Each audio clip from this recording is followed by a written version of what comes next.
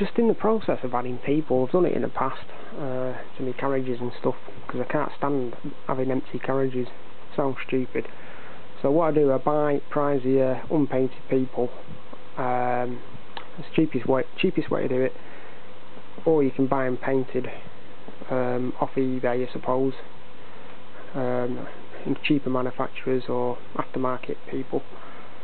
Uh, and basically just cut the legs off in various positions uh, so you can get them into the seating. Uh, easy tweezers, obviously, fix them in position wherever. But the best method, I think, of fixing in, in, them in position is Copydex, uh, which actually dries to a clear rubberized solution. Reason being is you can actually um, it doesn't dissolve any paint or plastics and you can actually remove the people at a later date if you wish to sell the item.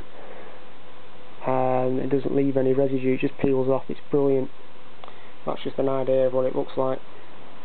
You people knocking around looks really good. Got a driver on board somewhere as well. Should be able to see just about there. It's just a quick tip I mean I use it for putting people on platforms all, all sorts of landscaping as well in various areas. Uh, sticking grass down on the sheets all sorts of stuff like that.